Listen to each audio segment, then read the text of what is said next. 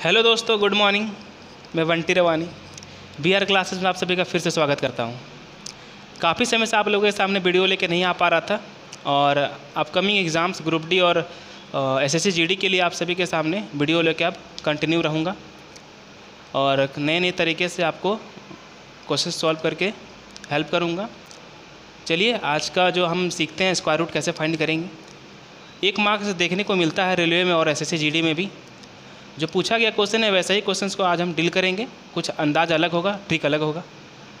बहुत अच्छा लगेगा आपको। चलिए स्टार्ट करते हैं। हेलो दोस्तों, आज मैं आप लोगों के लिए स्क्वायर एंड रूट के कुछ क्वेश्चन लेकर के आया हूँ, जो आरपीएफ कांस्टेबल 2019 में पूछे गए हैं। इन सारे क्वेश्चंस को हम दो से पाँच सेकेंड में जितनी जल्दी हो सकता है, उतने जल्दी इसको सॉल्व करके सीखेंगे, इसको कैसे सॉल्व होता है। इससे पहले मैंने स्क्वायर एंड रूट के कुछ वीडियो बनाए हैं। जहाँ पे मैंने आपको स्क्वायर एंड रूट को सॉल्व करने का तरीका बताया है, लेकिन आज हम ऑप्शंस के थ्रू इसको सॉल्व करेंगे। अब बहुत जल्दी सॉल्व होगा। चलिए देखते हैं इसको सॉल्व कैसे करना है। इसको सॉल्व करने के लिए कुछ बातों को आपको ध्यान में रखना होगा। जैसे मैंने आपको पहले बोला था कि कम से कम आपको 25-30 तक स्क्वायर याद रखना है। इसका यूज़ क्या होगा? कि जितने भी स्क्वायर्स होते हैं, उनके लास्ट के जो टू डिजिट होते हैं, वो एक स्क्वायर नंबर के आने वाले लास्ट के दो डिजिट होते हैं। जैसे कि एक का स्क्वायर ज़ीरो एक, दो का स्क्वायर ज़ीरो चार, तीन का स्क्वायर ज़ीरो नौ, चार का स्क्वायर सोलह छः का स्क्वायर छत्तीस, इक्कीस का स्क्वायर चार सौ इकतालीस में लास्ट में इकतालीस। ऐसे जितनी भी नंबर जो स्क्वायर होते हैं, सारे के लास्ट में जो दो डिजिट होते हैं, वो एक स्क्वायर में आने वाले नंबर होते हैं। तो इसको हम कैसे सॉल्व करेंगे? ध्यान दीजिएगा। इस पर दो बात पे फोकस करना है। एक बात हो गया क्या? कि जितने भी स्क्वायर होते हैं, पहला पॉइंट स्क्वायर के last two digit.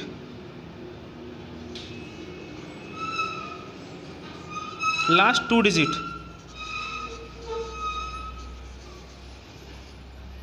दूसरा पॉइंट क्या हो गया? पचास, सौ, डेढ़ सौ, दो सौ, ढाई सौ। पचास के रेंज में आपको नंबर को यूज़ करना है। पचास, सौ, डेढ़ सौ, दो सौ ढाई सौ। इन सभी के रेंज में इसको, इस नंबर को यूज़ करना। पचास का स्क्वायर सौ का स्क्वायर डेढ़ सौ का स्क्वायर दो सौ का स्क्वायर और ढाई सौ का स्क्वायर करना क्या है गाइस अच्छा से समझेंगे। जैसे मेरे पास पहला क्वेश्चन है, दस हज़ार दो सौ एक का स्क्वायर रूट फाइंड करना है। दूसरा क्वेश्चन है, पाँच लाख उन्नीस हज़ार आठ सौ इकतालीस का स्क्वायर रूट फाइंड करना और तीसरा क्वेश्चन है, चौंतीस हज़ार पाँच सौ छियानवे का स्क्वायर रूट फाइंड करना जैसे मैंने आपको बोला कि स्क्वायर के लास्ट का टू डिजिट देखना है। जैसे यहाँ पे लास्ट में टू डिजिट क्या है? ज़ीरो एक, ज़ीरो वन। किस स्क्वायर के लास्ट में ज़ीरो वन आता है? तो आप देखेंगे एक का स्क्वायर जो ज़ीरो वन देता है। मतलब ये हुआ कि इस जो भी दस हज़ार दो सौ एक जिसका भी स्क्वायर है, उसके लास्ट में एक आएगा। अब करना क्या है? पचास सौ, डेढ़ सौ, दो सौ, ढाई सौ, इन सभी को बेस मान के चलना है। आपका आंसर क्या होगा? इकाई अंक लास्ट में जो एक होगा, वो प्लस वन करना है या माइनस वन करना है? प्लस वन करना है माइनस वन करना है, इसका मतलब क्या हुआ? जैसे फॉर एग्जांपल अगर आपका लास्ट में टू डिजिट में ज़ीरो वन हुआ और आपको पता चल गया कि मेरा एक प्लस करना और एक माइनस करना तो प्लस एक और माइनस एक कहाँ करेंगे? जैसे बेस क्या बोले? पचास, सौ, डेढ़ सौ, पचास के रेंज में लेना है। तो पचास में अगर हम एक ऐड करेंगे या पचास में एक हम माइनस करेंगे तो यही मेरा एक स्क्वायर नंबर देगा एक के बेस में। लेकिन यहाँ पे जितनी भी नंबर है, वो सौ के नियर अबाउट में है। तो आपको क्या बोले? कि लास्ट का टू डिजिट ज़ीरो वन जो एक के स्क्वायर को बताता है तो आपका आंसर जो होगा, एक प्लस करके आएगा, एक माइनस करके आएगा। तो जैसे हम क्या बोले, आपको रेंज कहाँ से लेना है? पचास के रेंज में। ये तो पचास के रेंज में नहीं है, पचास के बाद सौ आता है, सौ के बाद डेढ़ सौ आता है। तो ये सारे सौ के नियर अबाउट में लेना है। तो सौ में एक माइनस करेंगे तो नाइन्टी नाइन, और सौ में एक प्लस करेंगे तो वन हंड्रेड वन। तो ये तो नाइन्टी वन ये तो आंसर होगा नहीं।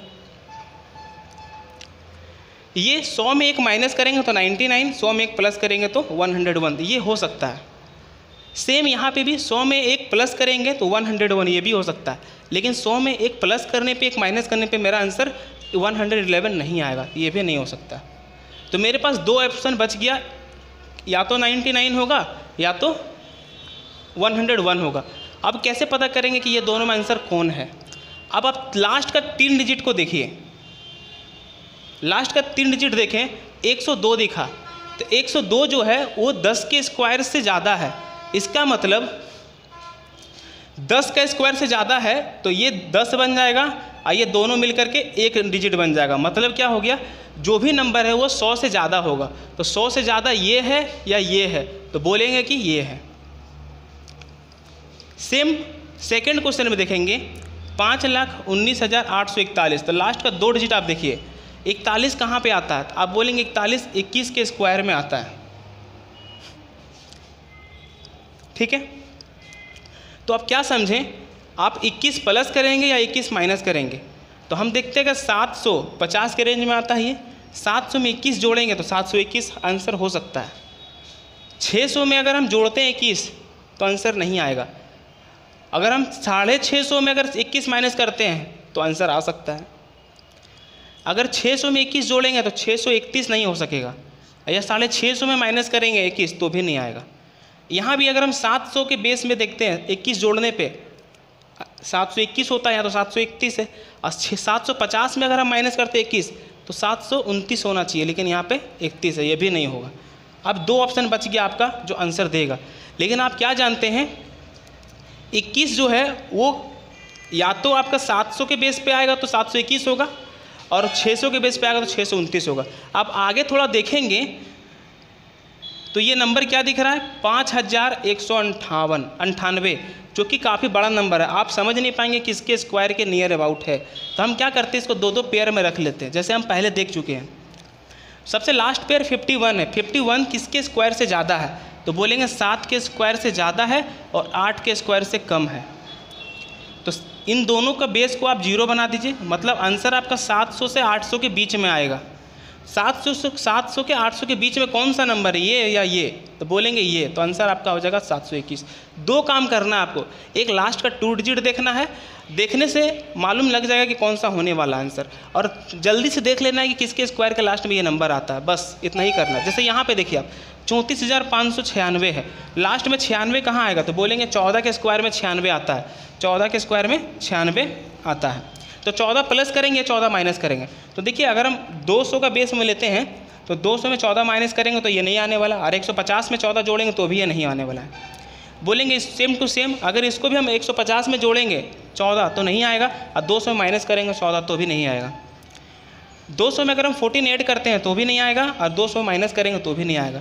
अब यहाँ देखिए 200 में अगर हम 14 ऐड करते हैं, तब तो 214 हो जाएगा। लेकिन 200 में जैसे हम 14 माइनस करेंगे तो 186 जो मैच कर रहा है, इसका मतलब आंसर क्या होगा?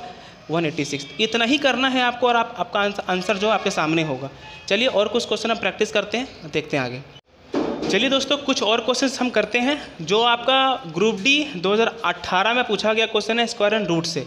सेम जैसे हम सीखे अभी, वैसे ही सारे क्वेश्चन को सॉल्व करेंगे। देखिए क्वेश्चन हो गया, एक लाख तिरासी हज़ार एक सौ चौरासी, सैंतीस हज़ार दो सौ उनचास और दो लाख तैंतालीस हज़ार उनचास। तो आप देखेंगे कि लास्ट के टू डिजिट में क्या चौरासी, उनचास उनचास। चौरासी आप देखेंगे, अगर आपको याद है तो बोलेंगे बाईस के स्क्वायर बाईस का स्क्वायर कितना होता है? चार सौ चौरासी। पच्चीस तक स्क्वायर रखेंगे, याद आपका सॉल्यूशन हो जाएगा। ठीक है? तो क्या सीखे आप? 22 का स्क्वायर चार सौ चौरासी होता है, इसका मतलब 22 प्लस करेंगे या 22 माइनस करेंगे बेस पे 50 के रेंज में। तो ये 450 के रेंज में आता है। अगर हम 400 में 22 जोड़ते हैं तो मेरा आंसर नहीं आएगा। अगर हम 400 में घटाते तो भी मेरा आंसर नहीं आने वाला है यहाँ पर। इसमें 400 में अगर 22 जोड़ते हैं तो 422 होना चाहिए बत्तीस है। होगा नहीं। 400 में अगर हम जोड़ते हैं बाईस, चार सौ बाईस नहीं है, लेकिन इधर, अगर हम इसको 450 में माइनस करते हैं तो 450 में 22 माइनस करते हैं तो 428 ये आंसर होगा। 400 में अगर हम 22 जोड़ेंगे तो 16 नहीं आने वाला, ना घटाने पे आने वाला तो ये भी आंसर मेरा नहीं होगा। देखिए, हम केवल जोड़ करके या घटा करके हम अपना आंसर को ला पा रहे हैं। क्या करना लास्ट के टू डिजिट में चौरासी है तो किसके स्क्वायर में चौरासी आता है तो बोलेंगे बाईस के स्क्वायर में चौरासी आता है। तब क्या किए? बाईस या तो घटाएँगे या तो बाईस जोड़ेंगे। तो हम क्या किए? बाईस जोड़ दिए। नहीं आया आंसर, बाईस घटा दिए। आ गया आंसर। सेम टू सेम यहाँ पर। लास्ट का टू डिजिट है फोर्टी नाइन सात के स्क्वायर में उनचास आता है, देख सकते हैं। तो करना क्या सात जोड़ना या सात घटाना है? अगर हम इसमें देखेंगे, ये 200 का, जो 50 का रेंज में आता है 50 का टेबल में आता है 200 तो 200 में अगर हम सात घटाते हैं तो आंसर नहीं आने वाला। जोड़ेंगे तो आ सकता है, लेकिन यहाँ तो दो सौ से कम है तो ये आंसर होगा नहीं। सेम टू सेम यहाँ पे 200 में घटाते हैं अगर हम सात तो एक सौ सतासी आएगा या नहीं? 200 में यहाँ भी अगर घटाएँगे सात तो भी नहीं आने वाला। इसका मतलब 200 में सात घटाने पे एक सौ तिरानवे आ रहा बस इतना ही करना और आंसर ले आना। सेम टू सेम, दो लाख तैंतालीस हज़ार उनचास। लास्ट का टू डिजिट क्या है? तो लास्ट का टू डिजिट में फोर्टी नाइन है, जो सात का स्क्वायर है। इसका मतलब सात जोड़ेंगे या सात घटाएँगे। तो देखिए, ये पाँच सौ के नियर अबाउट है। अगर हम पाँच सौ में सात घटाते हैं तो ये चार सौ संतानवे नहीं आने वाला। तो ये मेरा आंसर होगा नहीं। ये पाँच सौ से ज़्यादा, अगर हम पाँच सौ में अगर जोड़ते हैं सात तो पाँच सौ तीन नहीं आने वाला तो ये भी नहीं होगा आप मेरा आंसर ये पाँच सौ से कम है तो घटा के देखते हैं। पाँच सौ में अगर हम सात घटाते हैं तो चार सौ तिरानवे। तो ये बिल्कुल सही है, ये आंसर होगा। एक ऑप्शन और बचा हुआ है। चार सौ सतासी, जो कर पाँच सौ से कम है तो हम घटाते हैं सात पाँच सौ में, चार सौ सतासी नहीं आएगा। इसका मतलब मेरा आंसर क्या हो गया? चार सौ तिरानवे। तो आप ऐसे करके बाय ऑप्शंस और दो तीन जो कंसेप्ट दिए, इसको यूज़ करके आप सारा स्क्वायर एंड रूट आसानी से क्लियर कर सकते हैं। जो कि आने वाले जो पिछले एग्ज़ाम थे, सारे में पूछे गए हैं। और आने वाले जो एग्ज़ाम है, ग्रुप डी और S S G S S G उन सारे एग्ज़ाम में भी ये पूछने के पूरे पूरे चांसेस हैं। तो आप इस प्रकार से सारे क्वेश्चंस को आसानी से सॉल्व कर पाएँगे। वीडियो आपको अच्छा लगा होगा तो शेयर कीजिएगा, अपने दोस्तों तक पहुँचाइएगा। और इससे पहले मैंने स्क्वायर एंड रूट के पाँच पार्ट बना चुके हैं, उसको जाके देखेंगे। और आने वाले टाइम में मैं और भी वीडियो आपके सामने लेकर के आऊँगा। चलिए, आज के लिए धन्यवाद। और मेरा, ये जो चैनल है बी आर क्लासेस करके, अगर बी आर क्लासेस करने टाइप करने से यूट्यूब में अगर आपको नहीं दिखता है तो आप बंटी रवानी अगर लिखेंगे B A N T I R A W A N I इससे सबसे ऊपर मेरा ही चैनल आपको दिखेगा। आप इसको सब्सक्राइब कर लेंगे और आने वाले जितने भी अपकमिंग वीडियो है, उसका भरपूर लाभ उठाएँगे। चलिए, धन्यवाद।